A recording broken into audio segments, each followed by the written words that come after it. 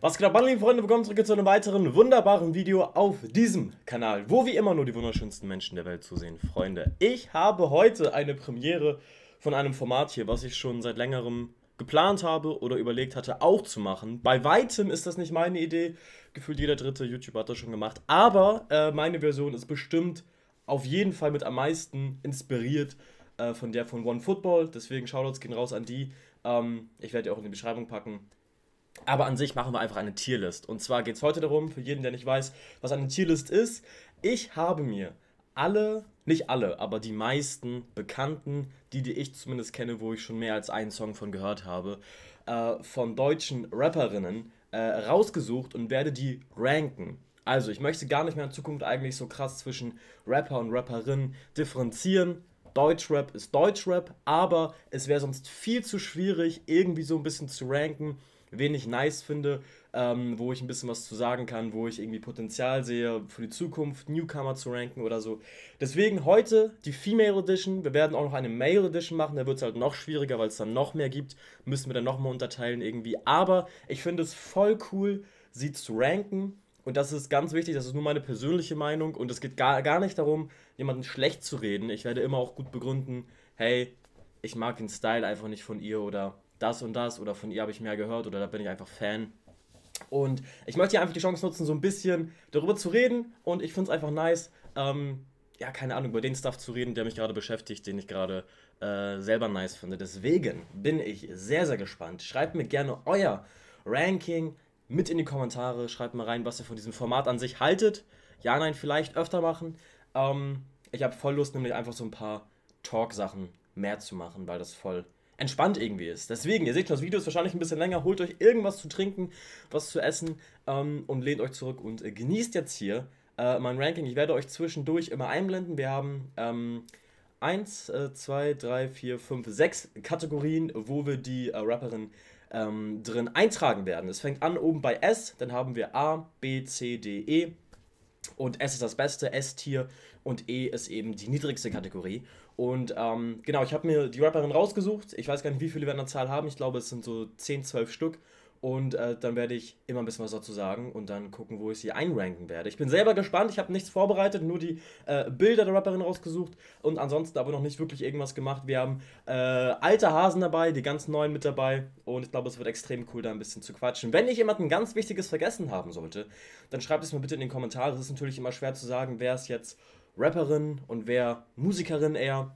Deswegen kann man sich da auch drüber schreiten, bei der einen oder anderen bestimmt. Aber ich würde sagen, bevor wir jetzt noch mehr quatschen, fangen wir gerne an. Ähm, und schreibt mir in die Kommentare rein, was für andere Sachen ich noch ranken soll, wo ihr vielleicht meine Meinung hören wollt. Ich bin jetzt aber gespannt. Wir fangen einfach mal an bei jemand einfachen. Ich würde sagen, wir fangen an bei Bad Moms J.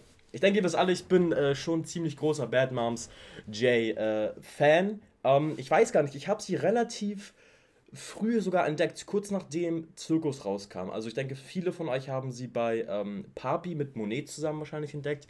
Der Song ist noch an mir vorbeigegangen. Aber bei ihrer ähm, Debüt-Solo-Single quasi, ihrem ersten richtigen alleinstehenden Song Zirkus, ähm, da habe ich sie für mich entdeckt. Ähm, da war ich kurz nach dem Release, zwei Monate nach dem Release oder so, war ich in Berlin. Da war die ähm, Premiere von Sonic, die Deutschland-Premiere von Sonic äh, in Berlin. Und ähm, da war ich dann spontan mit dabei, weil ich war an dem Tag sowieso in Berlin für irgendeinen Dreh. Und äh, dann habe ich mich mit Ju irgendwie connected, ob ich dann nicht vorbeikommen soll. Wäre doch ganz cool, mal wieder zu quatschen und sich zu sehen. Und ähm, dann war ich da tatsächlich auf der äh, Premiere. Und äh, danach waren wir auch noch was zusammen essen. Da war Ju nicht mehr dabei. Da war dann ähm, Daninji dabei, glaube ich. Da war Marty Fischer dabei.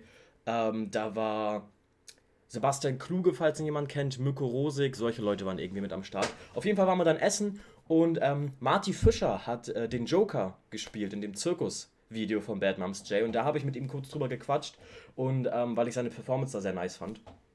Und das war ganz cool, mit ihm so ein bisschen darüber zu quatschen, wie das so vor Ort der Dreh ablief. Und er war auch so, ey, Bro, die ist mega jung und er sieht so voll das Potenzial darin irgendwie. Und ähm, da habe ich sie das allererste Mal entdeckt. Da habe ich auch, ähm, war ich geflasht von Zirkus direkt, weil ich den Stil so nice fand. Von Englisch und Deutsch. Ähm, und dann habe ich Jay Jiggy, anderer YouTuber, macht auch Reaction-Videos und ist selber ein Rapper. ähm, habe ich auf Instagram, glaube ich, eine Voicemail geschickt und meinte, ey Digga, falls du sie noch nicht kennst, ich weiß nicht, wie man sie ausspricht. Ich habe so lange gestruggelt mit dem Namen, wie immer. Ihr kennt mich und Namen, das passt nicht so gut zusammen. Ähm, und meinte, ey Digga, hier, schau vorbei, gönn sie dir. Er hat sich sie dann auch im Stream angesehen und war beim ersten Track gar nicht so abgeneigt, glaube ich.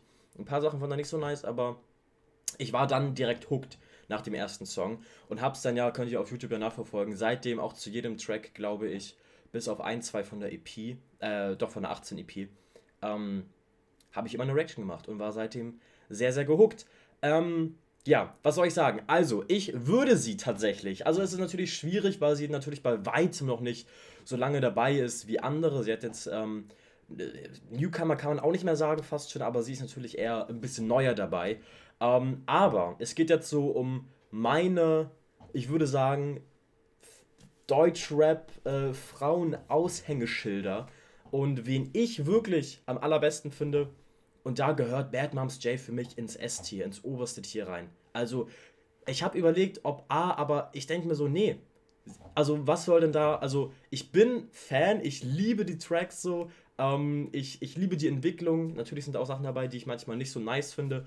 Ähm, aber ich höre ihr gerne zu, ich mag ihre Personality, ich gucke mir gerne Interviews von ihr an. Ähm, und ey, ich finde, Rap-Skill technisch äh, hat sie sich schon krass entwickelt und man sieht, dass dann auch ein bisschen Luft nach oben und hier und da ist, aber ich, gerade beim letzten Album hat man gemerkt, wie krass sie sich ausprobiert, was ich nice finde. Ähm, die Features äh, gefallen mir immer besser, was ich auch cool finde, dass sie da ein bisschen mehr macht. Und ähm, ey, sie ist, wenn ich an, an so Deutschrap denke, an Deutschrap-Frauen denke, dann ist sie einfach mit das Aushängeschild mittlerweile. Deswegen ähm, Bad Moms J auf jeden Fall oben im S-Tier. Und ähm, ja, ich kann nur sagen, ich habe sie jetzt auch persönlich kennengelernt auf der Release-Party von ihrem Album. Und sie ist super korrekt, super nett. Und ähm, ja, deswegen für mich ganz klar ins S-Tier Bad Moms J, der erste ähm, im S-Tier. So, dann gehen wir weiter zu, ähm, ich würde sagen, wir machen als nächstes mal Celine. Bei Celine war ich mir auch kind of unsicher, soll ich sie als Musikerin, Rapperin einordnen. Ich habe sie jetzt allein aufgrund von Emotions 2.0 mit ähm, UFO zusammen jetzt ins Rap-Ding mit reingenommen. Äh, aber auch ähm, ihr, ihr Album, ich weiß leider nicht mehr genau, Instinct heißt das Album auch Instinct oder war das nur der Track? Ich weiß es nicht genau. Ähm, aber auch auf, aufgrund ihres Albums, ähm, da sind sehr, sehr viele Rap-Elemente drin und deswegen für mich äh, jetzt hier als Rapperin. Von Celine habe ich noch nicht allzu viel gehört. Wir werden da auf jeden Fall noch eine Album-Reaction machen. Ähm, ich habe eher die bekannteren Tracks jetzt äh, gehört. Natürlich Emotions 2.0 mit UFO, wodurch sie auch der breiten Masse bekannt geworden ist. Ähm, dann ähm, Blue Jeans finde ich ultra stark, muss ich sagen. Ähm, wenn ich will, das war so, ich glaube, wenn ich will, war der erste Song, den ich von ihr gehört habe. Ähm, oder was machst du das, Celine? Ich weiß gar nicht, wie der heißt, aber was machst du das, Celine war der erste Track, genau. Ähm, und ich fand ihre Stimmlage da schon sehr interessant. Sie hat so eine sehr eigene Art, finde ich. Es geht hier und da sehr in die musikalische Richtung, was ich aber cool finde. Und sie hat diese sehr raue, kratzige, rauchige Stimme manchmal, was gerade in der Kombi mit UFO zum Beispiel gut funktioniert hat. Ähm, ja, wie gesagt, ich muss sagen, ich habe ansonsten, ich habe vielleicht fünf, sechs Songs von ihr gehört. Äh, viel zu wenig leider, um jetzt hier eine richtig gute, krass fundierte Meinung abgeben zu können. Aber äh, ich hoffe, dass mehr kommt. Das letzte, der letzte Release ist, glaube ich, ein bisschen her. Ich glaube, 2020 war das Album und danach war es erstmal still, soweit ich weiß. Also jetzt anderthalb Jahre oder ein bisschen länger schon fast nichts mehr gekommen. Ich hoffe, dass einiges in der Mache. Ähm, ich finde sie super interessant. Ich hoffe, dass noch mehr kommt und äh, dass wir demnächst auch äh, eine Album-Promo-Phase vielleicht bekommen direkt. Ähm, ich würde sie erst einmal jetzt, weil sie ist auch noch relativ frisch. Ich habe noch nicht so viel von ihr gehört und sie ist jetzt noch nicht so, sie hat nicht diesen Bam-Effekt, den jetzt vielleicht eine Bad Moms J auf mich hatte. Ähm, würde ich sie erstmal bei, ich würde sagen, bei B einordnen. Bei B. B ist schon relativ hoch, würde ich sagen. Sie ist noch nicht allzu lange dabei. Natürlich äh, Jordi auch noch nicht ansatzweise glaube, die haben beide relativ zeitgleich sogar angefangen. Ähm, ich ich freue mich auf mehr. So viel kann ich sagen. Und ich mag ihre Stilrichtung. Ich, ich habe auch ein, zwei Tracks gehört, die mir nicht ganz so zugesagt haben, die mir irgendwie ein bisschen zu langsam waren. Ähm, aber ich hoffe, äh, dass noch mehr kommt. Und wenn noch mehr kommt, dann ähm, bin ich sehr, sehr gespannt, was es sein wird. Und äh, ja, freue mich auf jeden Fall drauf. Denn äh, die Sachen, äh, die hier und da äh, für mich schon meinen Geschmack getroffen haben. Da habe ich mir schon gedacht, ey, noch mehr in diese Richtung wäre auf jeden Fall nice. Sowas wie Blue Jeans zum Beispiel. ähm, was direkt ein Ohrwurm war. Also so Ohrwurm-Sachen kann sie sehr, sehr gut. Ähm, da bin ich gespannt. Da freue ich mich drauf. Aber ansonsten, wie gesagt, kann ich gar nicht mehr so viel mehr dazu sagen. Celine kommt ins B-Tier. So, dann haben wir als nächstes, fangen wir an mit, mh, hm, let's say, Sixten und zwar Nura. Sixten an sich äh, habe ich jetzt nicht mal mit reingenommen, sondern Nura und Juju allein. By the way, Nura, ich kann sehr, sehr, sehr, sehr doll empfehlen. Ähm, die Discounter auf Amazon Prime. Amazon Prime, die Discounter, äh, ist so eine, ich weiß nicht genau, wie man das nennt, aber so eine Fake-Doku, wie heißt denn das? Ähm, Pocumentary oder so? Ich glaube irgendwie so. Auf jeden Fall kann ich das sehr empfehlen. Eine sehr gute Serie. Ist so eine ähm, teilweise improvisierte Comedy-Serie, so ein bisschen, ähm, ja, also am, am ehesten so wie Office, Stromberg kann man das vergleichen. Äh, natürlich will ich es nicht auf einen Level heben, aber es hat, finde ich, einen sehr coolen Humor. Nura spielt mit. Ähm, gönnt euch das gerne. Wenn ihr Amazon Prime habt, schaut doch mal ein, zwei Folgen rein. Äh, Habe ich in einem Stück geguckt. War ganz cool auf jeden Fall. Dann, äh, Nura. Also, ich muss sagen, ich war nie so der krasse Sixten-Hörer, Sixten-Fan. Ich habe so nur Bonkzimmer von Party zu Party oder so. Das waren die einzigen Songs, die ich wirklich kannte. Äh, und habe dann aber auch Sixten nie so wirklich verfolgt. Erst nach der Trennung habe ich dann bei beiden mal reingehört. Und ähm, bei Nura kann ich sagen, bin ich nie so wirklich warm geworden, leider. Also es gibt so ein, zwei Songs, die ich gerne mag. Dieser, ich weiß leider nicht genau, wie der heißt, aber der sehr, der auch viral gegangene politische Song, den fand ich stark, der neue. Ähm, und Verliebt in einen Gangster 2 mit 18 Karat zusammen. Sehr, sehr strong, ultra coole Hook. Ähm, direkter Ohrwurm. Aber ansonsten bin ich leider nie so super warm geworden mit ihren Songs. Äh, Gerade weil mir ihre Stimme meistens nicht so gut gefallen hat. Also da waren mit zu viele Effekte drauf, zu viel Autotune.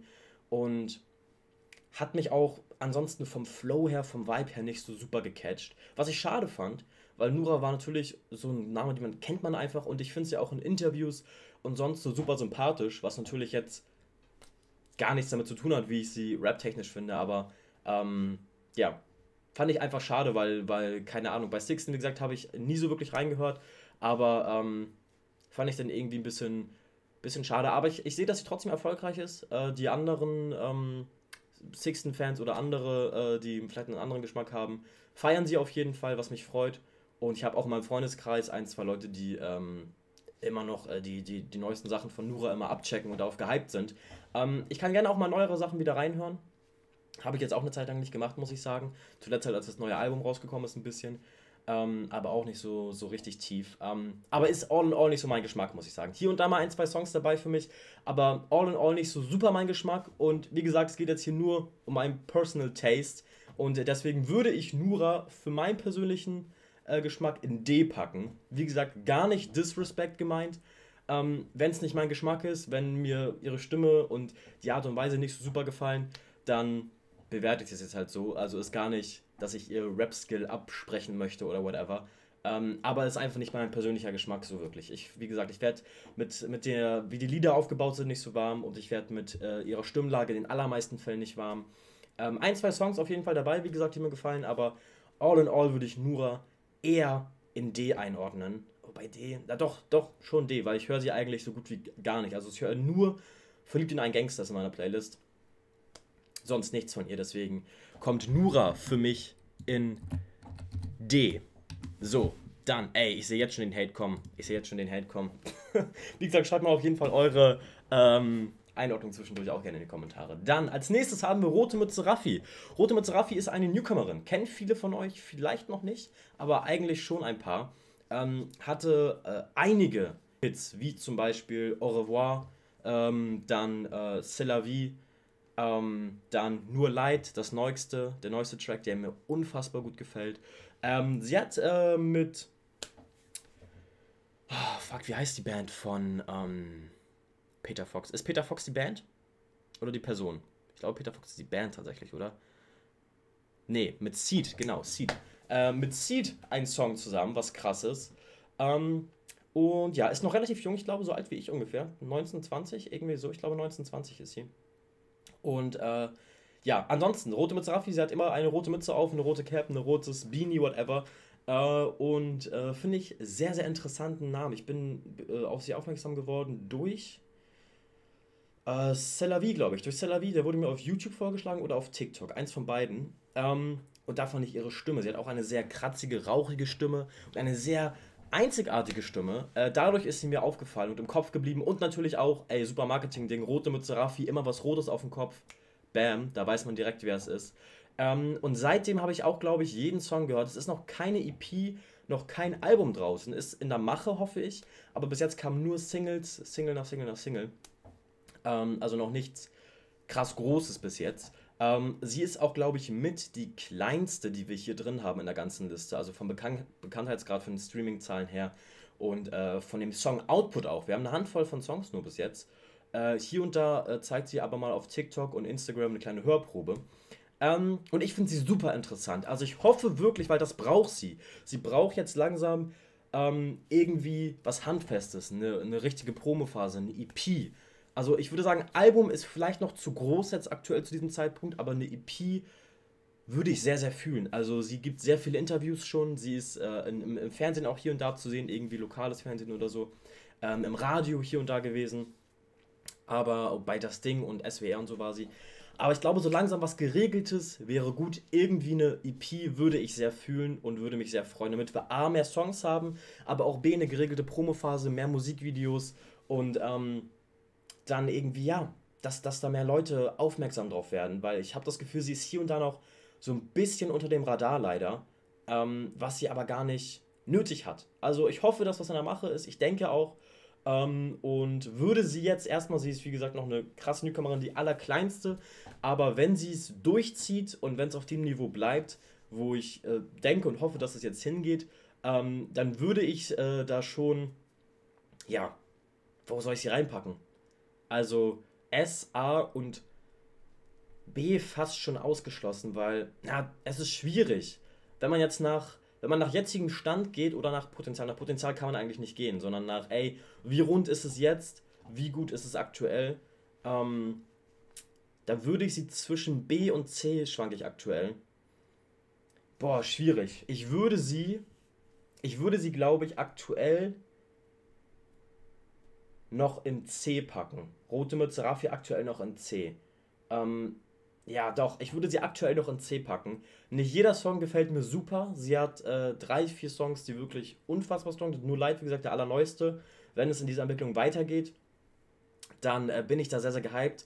Äh, ich mag sie sehr gerne. Äh, sie kommt super sympathisch rüber. Aktuell fehlt mir so ein bisschen diese Struktur, dieses. Natürlich kann man nicht erwarten, dass du direkt eine EP oder ein Album rausbringst oder so.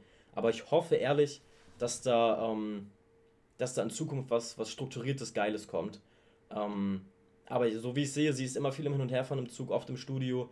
Da ist viel an der Mache aktuell und äh, da bin ich sehr, sehr gespannt, was noch kommen wird. Aber C finde ich fast aber ein bisschen, bisschen unfair, weil ich höre die Songs gerne. Ich habe drei, vier Songs sogar von ihr. Drei, vier Songs in, in meiner Playlist. Das machen wir. Machen wir vielleicht doch B. Doch, wir müssen B eigentlich machen. Packen wir sie in B. Komm, wir packen sie in B. Ja.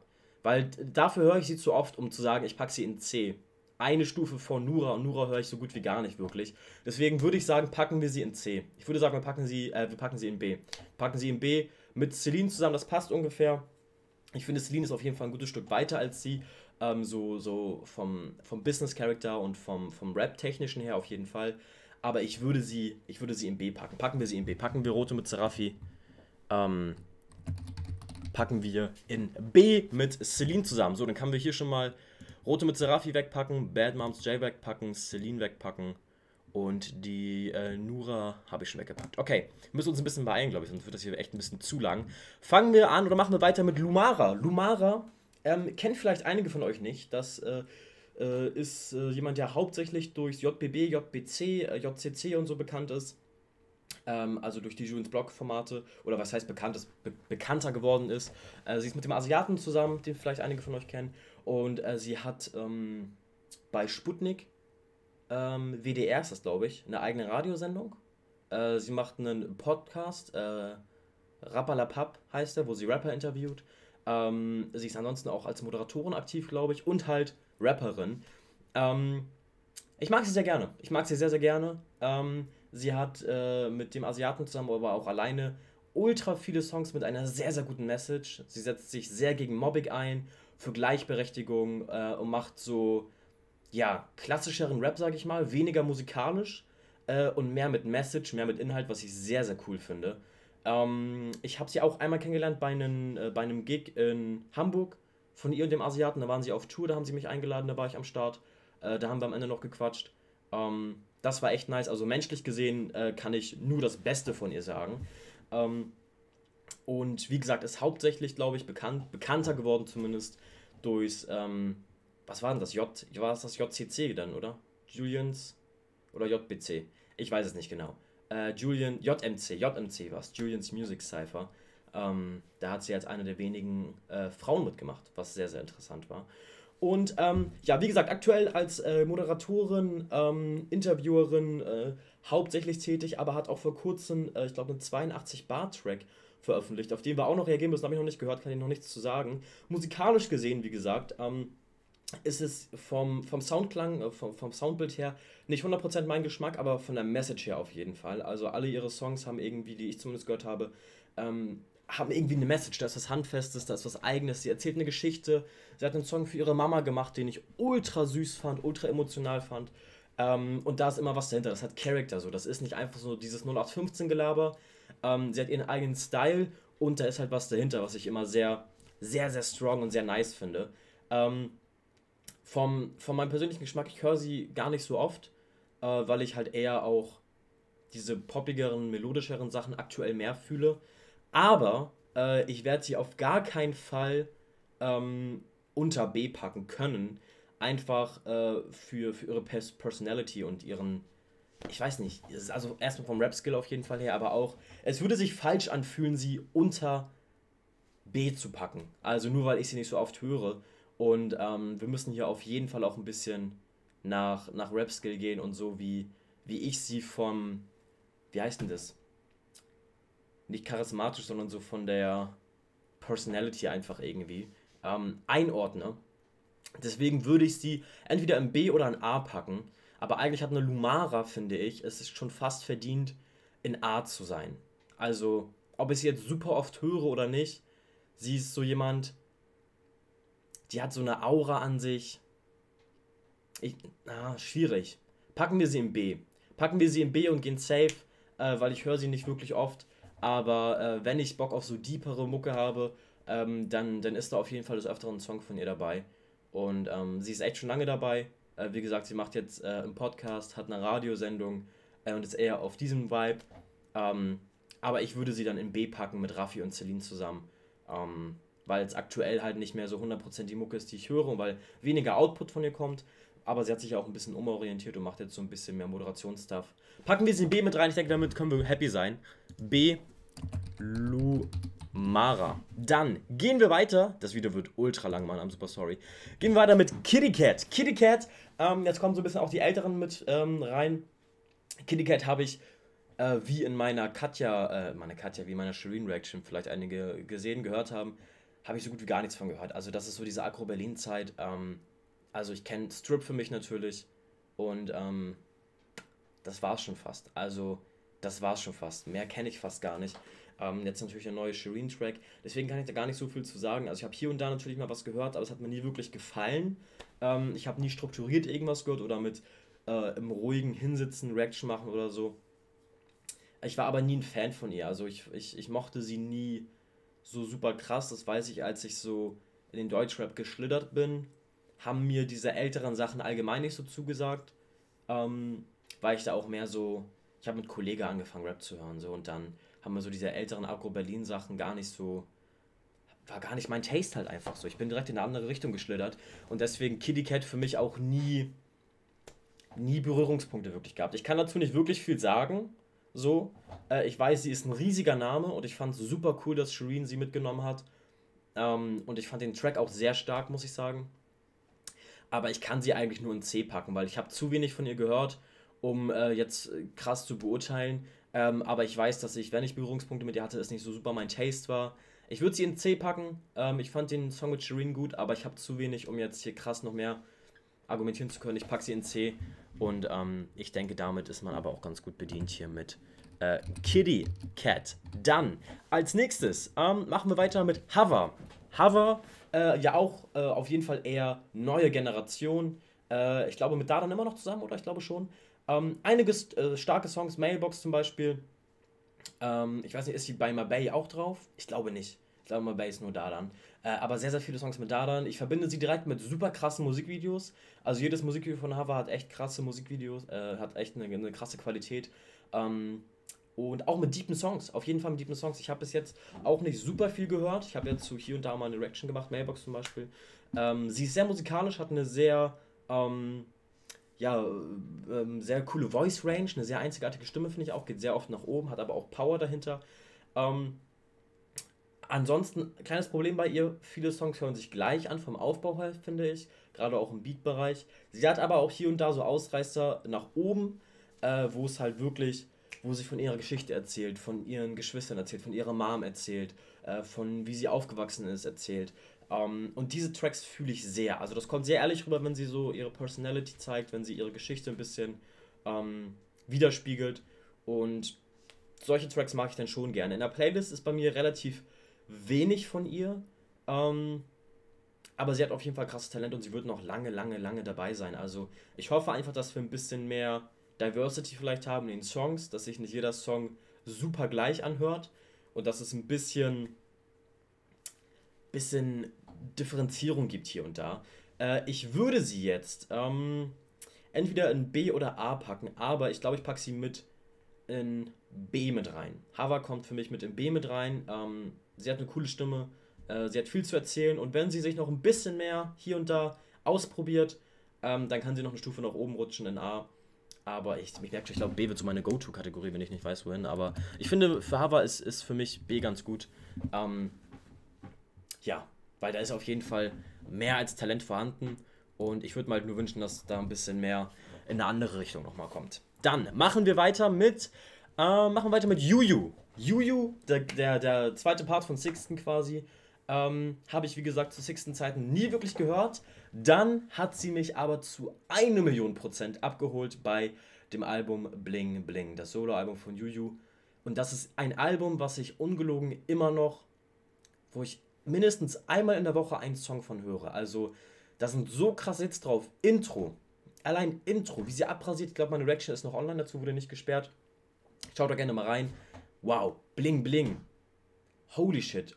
Ultra strong. Dann, ähm, Vermissen ist da auch drauf, mit Henning Mai zusammen. Bro, die Liebesballade, die wir gebraucht haben. Ähm, da sind super, super, super starke Songs. Sommer in Berlin, Winter in Berlin. Also es sind äh, viele, viele, viele krasse Songs, die man sich immer wieder geben kann von ihr. Gerade, also gerade Bling Bling. Bling Bling und Intro zeigt einfach, wie stark rap-technisch Juju ist. Und das zeigt nochmal den krassen Unterschied, weil Juju ist mehr so in diesen Rap-Bereich und Nura halt mehr in diesen musikalischeren Bereich gegangen.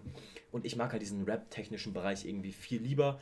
Ich hoffe, da kommt noch mehr. Das letzte, was wir hatten, war, wenn du mich siehst, mit Raf Kamura zusammen. Äh, das fand ich äh, ganz gut. Ganz gut, nicht super strong, aber fand ich ganz gut.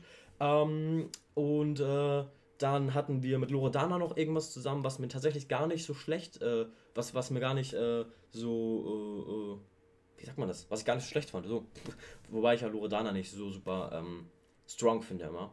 Ähm, ja, also für mich Juju auch eines der, der ähm, Deutsch-Rap-Frauen-Aushängeschilder, muss ich sagen. Ähm, ich, ich wünsche mir einfach mehr Releases. Das ist das Einzige, woran es gerade ein bisschen hapert. Da muss mehr kommen. Ich will ein zweites Album, ich will eine EP, ich will irgendwas haben. Ich hoffe, dass dieses Jahr irgendwas kommt von ihr. Wenn nicht, wäre ich einfach mehr als traurig, weil. Also wirklich, das war. Bling Bling war das Album, was ich glaube ich mit am öftesten gehört habe und am längsten gehört habe. Irgendwie 2020 kam es raus, soweit ich weiß. Ähm, ich war dann auch noch auf der Tour bei ihr in Hamburg live. Ähm, ne, da muss es ja 2019 gewesen sein. 2019, weil wenn man noch live dahin gehen konnte, muss es 2019 gewesen sein. Oder Early 2020, aber ich glaube eher 2019. Ähm, da war auch das Problem, äh, ich habe mich zu spät darum gekümmert, Karten waren alle ausverkauft für Hamburg. Aber dann habe ich ihr geschrieben, ey, kannst du irgendwas klären noch, dass ich vorbeikommen kann? Und dann hat sie mich noch ähm, mit, also plus, plus eins halt auf die Gästeliste quasi gepackt, was ich auch super korrekt fand.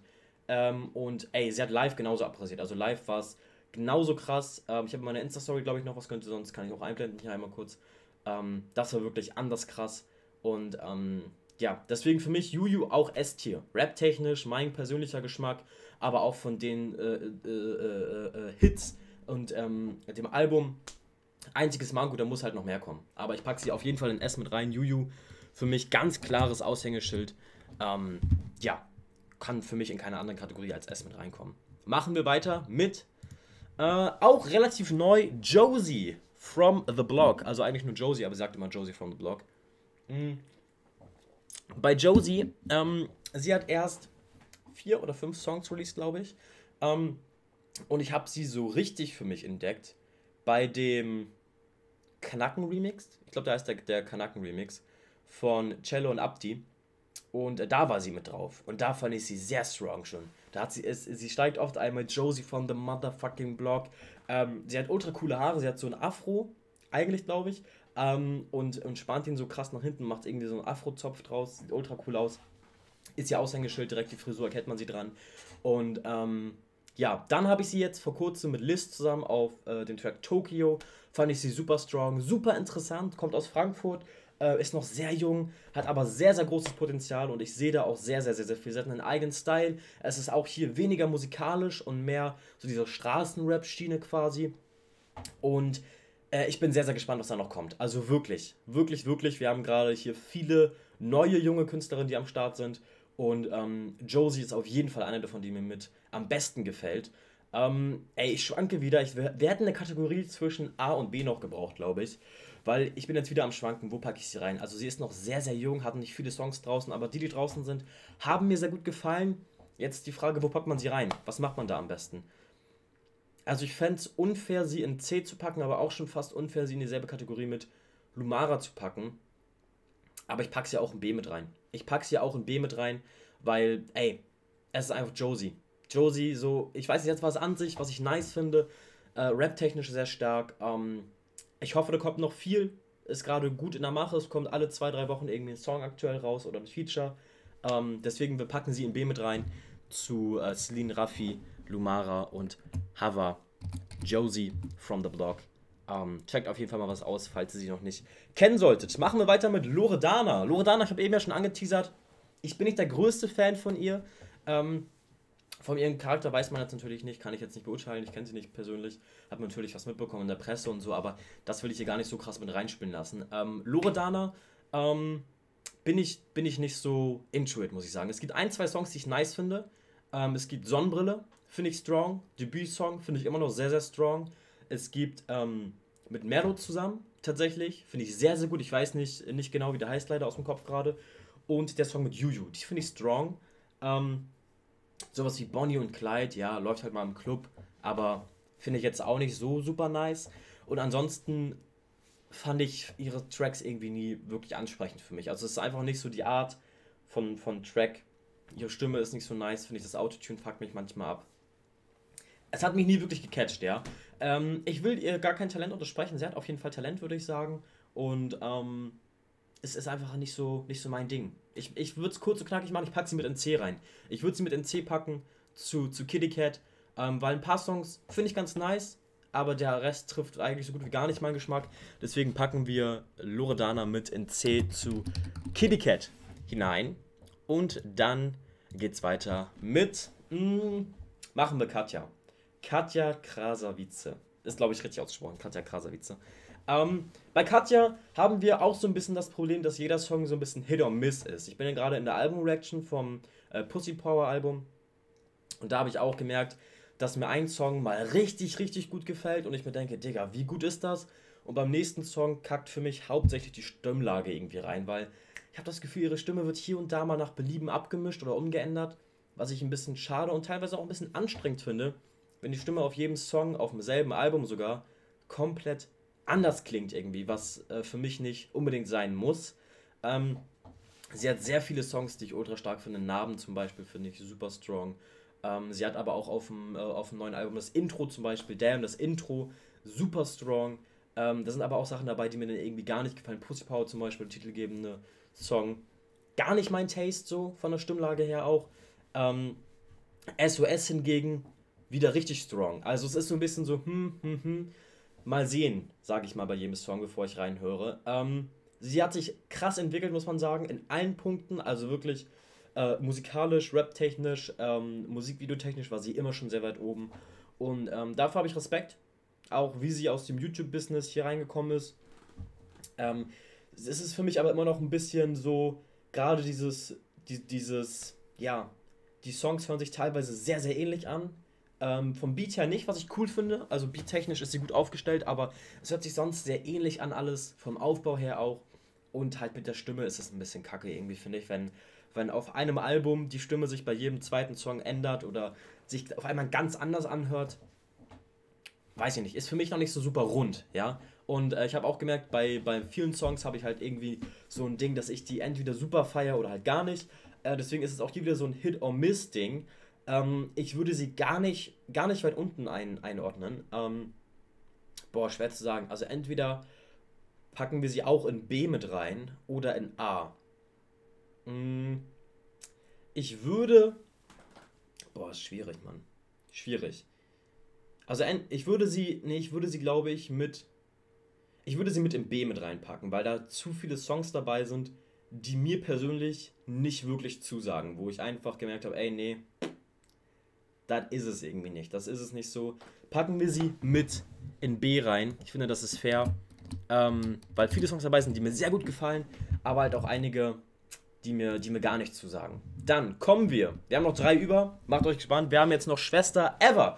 Schwester Ever ungefähr gleiches Problem wie bei Kitty Cat. Ich habe sehr, sehr wenig gehört. Das, was ich damals gehört habe, hat mir gar nicht gefallen.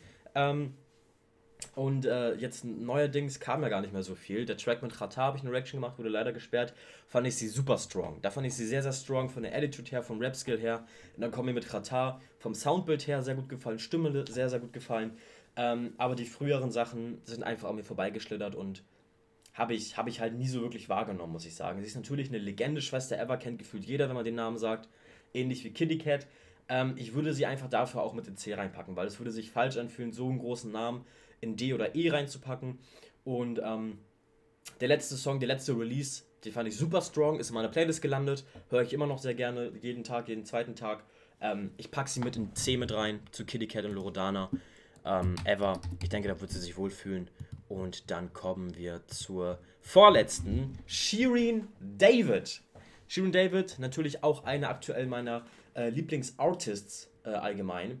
Ähm, das neue Album hat alles zerstört, finde ich. Ähm, auch hier krasse Entwicklung, super krasse Entwicklung, ähm, auch aus dem YouTube-Game raus. Ähm, die Features, die sie gemacht hat, fand ich sehr strong. Äh, das mit Luciano, äh, Never Know, einer meiner Lieblingssongs of all time geworden. Ähm, ey, das neue Album super krass. Babsy Bars, strong. Ähm, Man's World, super, super, super strong. Allgemein auch Stunden davor, Hose Up, G's Down, 90, 60, 111. Also das sind iconic Songs geworden. Äh, Juicy Money, einer meiner Lieblingssongs geworden, auch mit Luciano zusammen. Ähm, mit Shindy zusammen, der Song hat mir gar nicht so super gut gefallen, also war schon strong, aber jetzt im Nachhinein einer, den ich gar nicht mehr so oft gehört habe. Ähm, aber natürlich auch Falterbach eine monströse Hook geliefert. Ähm, die Frau ist einfach äh, angekommen, die hat sich super entwickelt, finde ich. Ähm, ich liebe es, dass die Dior Sauvage zum Beispiel auch tiefer gehende Songs hat, äh, sich öffnet, Personality zeigt, äh, Geschichten erzählt, Sachen mit auf den Weg gibt. Schlechtes Vorbild zum Beispiel, wow. Ähm, also da kann ich einen Song nach dem anderen nennen, der mir super gut gefällt, den ich immer noch fast daily höre. Deswegen Shirin David für mich auf jeden Fall S-Tier. Shirin David auf jeden Fall S-Tier, krasse Entwicklung. Ähm, Shireen kommt ins S-Tier. Dann, als letztes haben wir mit dabei Lizzie Liz. Liz, auch aus Frankfurt, äh, selbe Ecke wie ähm, die Josie. Und äh, habe ich auch durch den Kanaken ähm, Remix von äh, Chalon Abdi ähm, für mich entdeckt. Gefällt mir sehr gut. Gefällt mir sehr gut. Ich würde sagen, nicht ganz so gut wie Josie, ähm, weil ich da noch ein bisschen mit ihrer Stimme, also es ist halt noch, sie hat eine sehr trockene, äh, tiefe und ja, noch mehr so eine Straßenrap-Stimme und Straßenrap-Attitude, würde ich sagen. Ähm, auf dem neuen Song, Song Tokyo gefällt, mir sie, gefällt sie mir super gut. Das ist ein bisschen musikalischer gewesen, was sie da gemacht hat, was mir gut gefallen hat. Ähm, schwierig zu sagen, ich will sie eigentlich gar nicht in C reinpacken. Ähm, na doch, aber ich muss sie eigentlich in C reinpacken, weil, weil dafür habe ich weniger, ich habe weniger von ihr gehört, von Josie. Und ähm, die Sachen haben mir gar nicht, also haben mir gut gefallen, aber nicht so super gut wie die von Josie. Tokyo, der neueste Release, würde ich, äh, ist auch in meiner Playlist direkt gelandet, würde ich sagen, ist eine 8 bis 9 von 10, hat mir super gefallen. Ähm, aber ich packe sie erstmal in C mit rein. Ich glaube, das ist besser. Ich packe sie erstmal in C mit rein ähm, weil sie da, finde ich, einfach am ehesten noch reinpasst. Weil sie da am ehesten reinpasst. Und ähm, ja, dann ist sie mit Kitty Cat, Loredana und Schwester Eva in einer Kategorie. Und dann haben wir Josie, äh, haben wir Lizzie Liz mit in Kategorie C. Also A und E hätten wir uns sparen können, sehe ich gerade quasi. Ähm, aber ich bin trotzdem recht zufrieden mit der Ausbeute. Ich bin trotzdem recht zufrieden, wie wir das hier gelistet haben. Ähm, wir haben jetzt im S-Tier Bad Moms J, äh, Juju und Shirin David. Im A haben wir nichts. Im B haben wir Celine, Rote mit Serafi, Lumara, Hava, Josie und Katja. In C haben wir Kitty Cat, Loredana, Schwester Eva und Liz. Und in D haben wir Nura. Und in E haben wir nichts. Ähm, ja, es ist jetzt ein bisschen sehr auf B und C hier umgeschwungen, aber ich glaube, es war trotzdem relativ interessant, dass ihr bei allen mal so meine Einschätzung haben könnt. Ähm, also ich habe jetzt hier nicht nur nachgewertet äh, von wegen, ey, die mag ich, die mag ich nicht oder die finde ich gut, die finde ich schlecht, sondern eben auch nach Potenzial, welche Songs habe ich gehört, wie viele haben mir gefallen, wie viele nicht. Ähm, viel meine eigene Meinung und bei vielen habe ich halt leider zu wenig gehört, wie bei Liz zum Beispiel, bei Eva, bei Kitty Cat, meinetwegen auch bei Loredana oder äh, auch bei Josie, bei Hover, habe ich hier und da zu wenig gehört, um das äh, richtig super gut beurteilen zu können. Aber das war jetzt so einfach der Eindruck von den Sachen, die ich gehört habe. Und es war jetzt mal ein langes, cooles Laber-Video für zwischendurch, denke ich mal. Ähm, lasst mich hier unbedingt Feedback da, weil das jetzt wirklich einfach so rough gelabert war, ohne Vorbereitung wirklich. Einfach runtergerattert. Vielleicht fürs Schminken nebenbei, zum Ready machen, zum Essen nebenbei, zum Zocken nebenbei, keine Ahnung, was ihr nebenbei gemacht habt. Aber sowas öfter machen? Ja, nein, vielleicht. Soll ich noch mehr Anekdoten und Stories nebenbei erzählen? Ja, nein, vielleicht oder weniger. Ähm, und was für Kategorien wollt ihr noch haben, wenn dieses äh, Format Bestand bleiben sollte? Es ist jetzt alles sehr experimentell hier und äh, ich wollte einfach mal was Neues probieren, weil ich Bock habe, so Laber-Videos zwischendurch mal rauszuhauen. Deswegen lasst mir da unbedingt Feedback da. Wirklich wichtig, auch wenn es so schlecht ist, wie es sein sollte, dann ist es eben so. Ähm, ich bin einfach mal gespannt, ob und wie sowas bei euch ankommt, ähm, weil ich solche Videos selber sehr, sehr gerne gucke. Ähm, ja, das war's von mir. Ich hoffe, ihr habt überlebt, meine Laberei. Äh, wir sehen uns bei einem weiteren wunderbaren Video. Bleibt fresh, so wie immer natürlich und ciao.